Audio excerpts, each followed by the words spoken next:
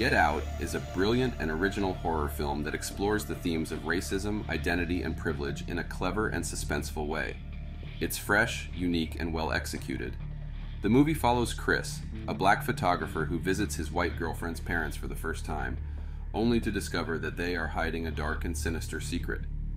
The film is written and directed by Jordan Peele, who's best known for his comedy sketches with Keegan Michael Key.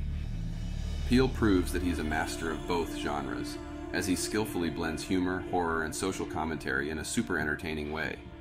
The movie is full of twists and turns that keep the audience on the edge of their seats.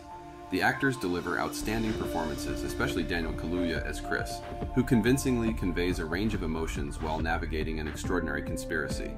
Allison Williams plays Rose, his girlfriend who seems supportive, but spoiler, she's actually lost a bunch of marbles. Bradley Whitford and Catherine Keener are convincing as Rose's parents, who appear friendly but are actually the worst. Lil Rel Howery provides comic relief as Chris's friend Rod, who tries to help him escape from the situation. Get Out is a movie that deserves to be seen by everyone.